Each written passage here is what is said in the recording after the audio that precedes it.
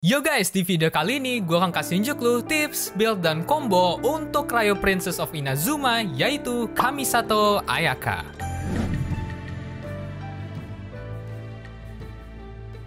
So, setelah menunggu 9 bulan lebih, akhirnya datang juga rerun banner pertama untuk salah satu waifu terpopuler dan paling diminati players Genshin, yaitu Yoru Forger versi Genshin. And bagi kalian yang nggak ngerti reference itu, sangat gue sayang kalian nonton dulu Spy X Family yang by the way a very freaking good anime untuk season ini. Dan nanti kalian akan ngerti sendiri pas dengar suara VA-nya. And karena itu, banyak yang mengantisipasi untuk Wish Waifu yang satu ini, karena tidak hanya dia menang dari sisi desain, VA, animation, dan hal estetik lainnya, lainnya, tetapi dia juga menang dalam sisi meta yang di mana dari awal dia rilis sampai sekarang, posisi dia di meta tetap berada di atas dan bahkan dengan berjalannya waktu, kekuatan dia malah makin naik dengan datangnya beberapa karakter baru. So yeah, ini adalah waktunya untuk bikin build guide terbaru dan update untuk Ayaka karena video gue yang sebelumnya agak jadul dan ada beberapa info yang agak ngaco.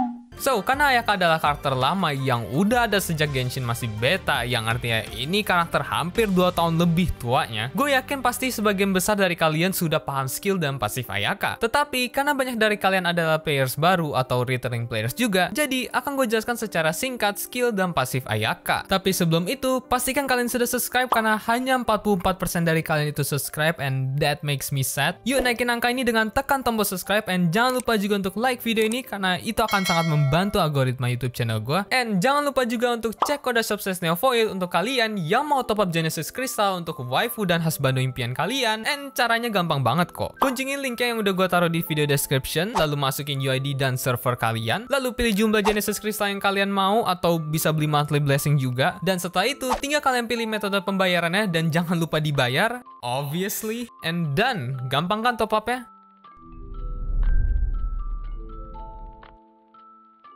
So, dari elemental skillnya, Ayaka akan melakukan simple AoE cryo hit yang memiliki sedikit crowd control. Lalu untuk burstnya, Ayaka akan summon sebuah snowstorm yang akan gerak maju dan damage musuh sebanyak 19 kali selama 5 detik. Dan di akhir durasinya, snowstorm akan meledak dan deal bloom damage. By the way, snowstorm ini memiliki sistem collision yang artinya dia akan berhenti ketika kontak dengan musuh pertama. Lalu untuk alternate sprintnya adalah, Ayaka akan menjadi kabut es dan ketika Ayaka keluar dari fase sprint ini, dia akan apply cryo element ke musuh dalam area yang kecil dan selain itu, normal attack Ayaka juga akan diinfuse oleh cryo element selama 5 detik. By the way, untuk cryo application dari fase sprint ini memiliki internal cooldown yang cukup pendek yang artinya kalian bisa spam skill ini untuk hancurin Hydro atau Electro Shield dengan gampang. Lalu lanjut ke pasif pertama Ayaka adalah ketika Ayaka menggunakan elemental skillnya, normal dan charge attack Ayaka akan mendapatkan bonus damage sebesar 30% selama 6 detik. Lalu untuk pasif keduanya adalah ketika Ayaka keluar dari fase alternate sprintnya dan hit musuh, Ayaka akan mendapatkan 10 stamina balik dan 18% extra kayo damage bonus selama 10 detik.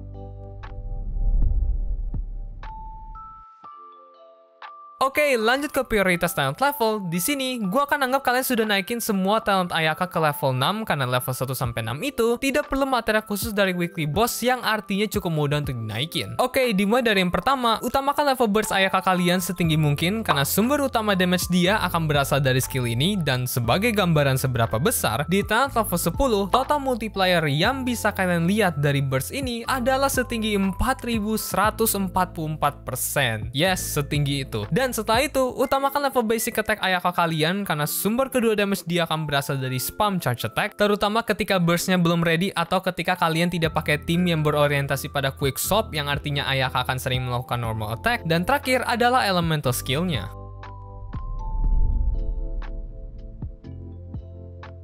Oke, sekarang kita lanjut ke bagian artifacts-nya. Untuk Ayaka, dari awal dia rilis sampai sekarang, belum ada perubahan untuk set terbaiknya, yaitu tetap 4-piece Business Strayer sebagai opsi utamanya. Karena dari set ini sendiri, kalian akan mendapatkan 40% crit rate ketika kalian lawan musuh yang ke freeze, dan hal inilah yang membuat Ayaka menjadi salah satu crit demon unit dan punya damage scaling yang amat sangat tinggi. Karena tanpa crit rate stats apa pun, Ayaka kalian akan sudah punya total 60% crit rate, yang artinya kalian bisa alihin semua stats dia ke crit damage semua. Dan karena hal inilah, kalian sering lihat Ayaka users punya crit rate cuma 10 atau bahkan 5% doang, tapi total crit damage itu tinggi banget kayak 300% ke atas. So yeah, itulah kekuatan Cryo Element ketika dikasih 4 piece Beast Slayer, Free Steam, dan juga Cryo Resonance. Lalu, untuk kalian yang lagi on budget atau belum punya 4 piece Beast Slayer yang bagus, kalian juga bisa gunakan combo hybrid antara 2 piece Gladiator atau Shimenawa atau Blizzard dan untuk combo mana yang terbaik, gunakan saja 2 piece set mana pun yang memiliki substat terbaik. By the way, bagi yang bingung kenapa gue nggak nyebut set Echoes atau Vermilion yang padahal efek 2 pieces sama kayak Gladiator atau Shimenawa, well, alasannya satu dan itu cukup simple, yaitu gak banyak players yang bakal farm domain ini juga, karena yang bakal punya set bagus dari Echoes atau Vermilion hanyalah players yang punya Shao atau Ayato, dan itu pun gue juga nggak yakin bakal banyak yang farm, karena kalian pasti udah punya set yang bagus untuk Ayato atau Shao. Jadi agak nggak worth it untuk farm ulang sebuah set yang belum tentu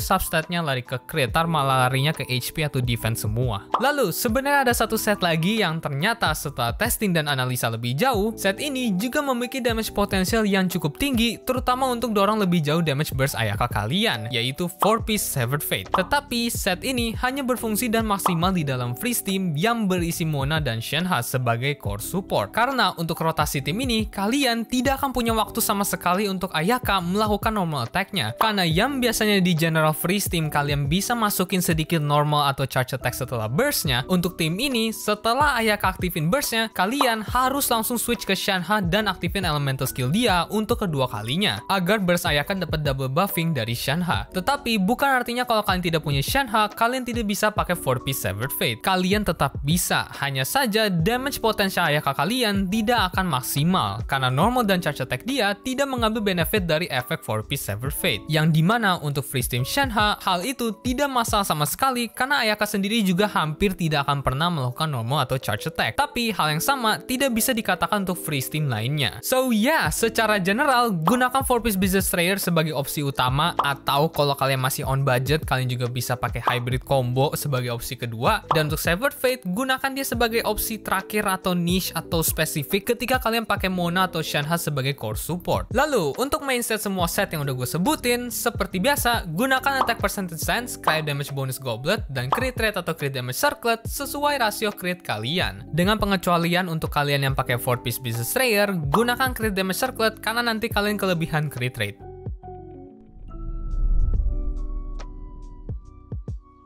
Oke, lanjut ke bagian senjatanya. Seperti biasa, gue hanya akan menjelaskan beberapa senjata yang optimal dan bagus untuk Ayaka. Jadi untuk menjelaskan lebih lengkap untuk senjata lainnya, akan gue taruh di pin comment. Oke, dimulai dari yang pertama, sampai sekarang, Miss Splitter Reforged tetap merupakan senjata terbaik untuk Ayaka. Dengan base attack yang sangat tinggi, yaitu 674, lalu secondary stat 44,1% crit damage, dan pasif yaitu, Ayaka akan mendapatkan 12% elemental damage bonus dan senjata ini memiliki sistem stack yaitu itu, untuk setiap level stack yang Ayaka miliki, dia akan mendapatkan extra elemental damage bonus sebesar 8%, 16%, dan 28% sesuai level stack yang Ayaka miliki. Dan untuk dapetin ketiga stack ini, itu cukup mudah, yaitu pertama, ketika normal attack Ayaka deal elemental damage, lalu kedua, ketika energi Ayaka di bawah 100%, dan ketiga, ketika Ayaka aktifin burstnya. Lalu, selain signature weaponnya, ada dua opsi 5 star lainnya yang bagus juga, tetapi untuk dua senjata ini bisa dibilang bagus untuk Ayaka, beberapa ketentuan yang harus dipenuhi dan akan kita bahas satu persatu dimulai dari yang pertama yaitu Primonial Jade Cutter. Walau senjata ini terlihat bagus untuk Ayaka karena jumlah crit rate yang dikasih itu amat sangat tinggi dan juga bonus attack-nya juga lumayan, senjata ini memiliki beberapa masalah sinergi dengan dia yaitu karena senjata ini ngasih jumlah crit rate yang amat sangat besar, Ayaka kalian akan kena masalah crit overcapping atau kelebihan crit rate dan masalahnya di sini efektivitas dan value dari crit rate itu sendiri akan mulai jatuh ketika di atas 70-80%. Dan karena Ayaka sendiri akan punya 60% raw crit rate dari efek 4 piece business rare dan juga cryo resonance, artinya kalian akan mengorbankan sebagian besar damage Ayaka dengan pakai senjata ini. Karena yang seharusnya dia bisa build berat ke crit damage dari secondary stats weaponnya, sekarang dia malah jadi kelebihan crit rate tapi crit damage-nya kecil. Kecuali kalian gak pakai 4 piece business rare tapi pakainya combo hybrid atau 4 piece sever fate, barulah di situ Jade Cutter bisa kalian gunakan. Lalu untuk opsi kedua yaitu Summit Shaper, walau senjata ini memberikan Ayaka tumpukan attack percentage yang banyak banget, like lu dapat total hampir 90% dari senjata ini sendiri, ada beberapa masalah yang dihadapi Ayaka, yaitu karena tim terbaik dia adalah Freeze Team yang di mana secara general tidak akan perlu shield atau bahkan tidak perlu healing yang terlalu banyak karena adanya freeze reaction, artinya pertama, pasif senjata ini tidak akan maksimal karena dia sangat butuh shield untuk doublein attack buff yang dikasih dari stacknya, dan kedua, anggap kata kalian mau maksimalin pun dengan bawa Diona untuk shieldnya, apakah hal tersebut worth it dibanding dengan kalian langsung bawa aja cryo sub DPS, misal Rosaria atau Shenhe yang selain mengeluarkan damage yang lebih besar, tetapi juga membawa offensive utility yang lebih penting untuk tim kalian. Lalu, selain 5 star weapon, ada tiga opsi 4 star lainnya yang tidak kalah bagus juga. Dimulai dari yang pertama adalah Black Cliff Longsword dengan secondary stat yaitu 36,8% crit damage dan pasif yaitu jika Ayaka kill satu musuh, maka dia akan mendapatkan attack buff sebesar 12% selama 30 detik yang bisa di stack sebaik 3 kali. Lalu senjata kedua yaitu Ame no Makageuchi dengan secondary stat 55,1% attack percentage dan pasif yaitu setiap kali Ayaka aktifin elemental skillnya, dia akan mendapatkan satu seed yang bisa di stack sebanyak tiga kali. Dan ketika Ayaka mengaktifkan burstnya, dia akan mengkonsumsi semua seed yang sudah dia kumpulkan dan untuk setiap seed yang dikonsumsi, dia akan mendapatkan 6 energi balik dan kalian bisa lihat sampai 36 total energi regen di refinement 5. Itu hampir setengah burstnya balik loh. Lalu untuk opsi terakhir dan pilihan ketiga untuk Ayaka adalah Battle Pass Weapon yaitu The Black Sword dengan secondary stat yaitu 27,6% crit rate dan pasif yaitu Ayaka akan mendapatkan bonus normal dan charge attack sebesar 20% dan setiap kali Ayaka melakukan critical hit dia akan regen HP sebesar 60% dari total attack-nya. Oke, sekarang lanjut ke bagian terakhir yaitu team building untuk Ayaka. Seperti yang udah gue singgung dari tadi dan kalian juga pasti udah lihat dari background footage, tim terbaik Ayaka adalah Freeze Team dan sayangnya hanya tim inilah yang bisa maksimalin potensi Ayaka kalian. Karena kalau kalian belum tonton video gue yang sebelumnya, di situ gue jelasin secara detail kenapa Ayaka sangat bergantung pada Freeze Team. Tapi kalau belum, singkatnya adalah burst Ayaka merupakan 90% dari total damage dia. Dan apa yang terjadi kalau burst dia tidak hit miss musuh, yes benar, 90% total DPS Ayaka juga akan hilang. Dan di sinilah peran freeze team untuk Ayaka, yang selain dorong lebih jauh damage dia dengan tumpukan pasif crit rate, poin terpentingnya adalah dengan adanya freeze reaction, kalian bisa jaga musuh di satu tempat, yang artinya kalian bisa pastiin ke 19 cut dari burst Ayaka hit semua ke musuhnya. Dan siapa lagi yang lebih baik dalam tugas ini kalau bukan Mona, Shenhe, dan Venti atau Kazuha sendiri. Untuk sekarang, varian freeze team inilah yang terbaik dan memiliki damage potensial tertinggi untuk burst Ayaka. Karena dengan adanya flat damage boosting dari Shenhe, damage Ayaka kalian akan langsung meroket karena bagi yang tidak tahu, flat damage boosting adalah mekanik penambahan damage yang berada di level base damage yang artinya extra damage ini akan mengambil benefit dari berbagai macam bonus percentage crit damage dan yang terpenting dari Omen debuff Mona dan Viridescent Shred dari Venti atau Kazuha. Dan selain flat damage boosting yang disediakan oleh Icy Quill, Shenhe juga menyediakan berbagai macam utility dan buff lainnya yang berkontribusi dalam mendorong lebih jauh damage Ayaka kalian, seperti Cryo Resistance Shred, Burst Damage Bonus, Cryo Damage Buff, dan lain-lain. Bagi yang penasaran penjelasan lebih detail tentang Shenhe dan pengaruhnya dalam tim, kalian bisa cek video gue yang satu ini karena di situ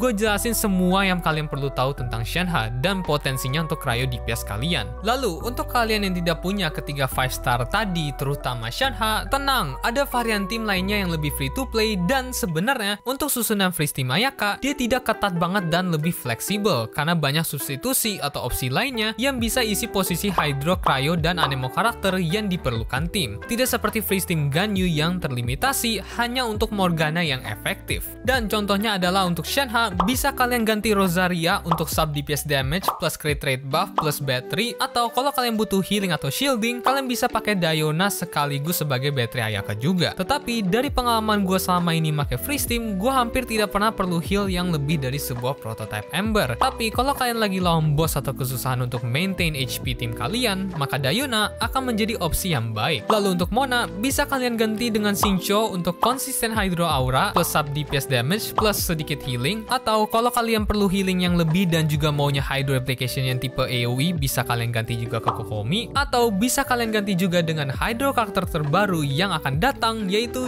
Yelan. Tapi seperti biasa, karena dia ada karakter baru dan belum rilis juga, kita perlu tes terlebih dahulu. Tapi satu hal yang gue yakin, pasti dia sinergi dengan Ayaka in one way or another. Lalu terakhir, untuk posisi Venteto Kazuha, bisa kalian ganti dengan Sucrose untuk Viridescent Shred, lalu crowd control tipe grouping, dan elemental damage buff kalau kalian punya C6 Sucrose. And that's it! Itulah cara build Ayaka kalian untuk menjadi salah satu top tier cryo DPS yang bisa saingin Ganyu soal power level. Semoga video gue kali ini dapat membantu kalian dalam nge-build Ayaka, and bagi yang berhasil nonton sampai akhir, gue ucapkan terima kasih karena untuk bikin video seperti ini sangat memakan waktu dan energi gue, jadi akan sangat gue apresiasi kalau kalian tekan tombol subscribe and like video ini untuk memberitahu gue kalau kalian suka video gue, dan itu juga membantu algoritma YouTube channel gue. And jangan lupa juga untuk cek kode suksesnya Void untuk kebutuhan top up waifu dan husbando kalian. As always, thank you so much for watching, stay safe, love you all, and I'll see you in another video.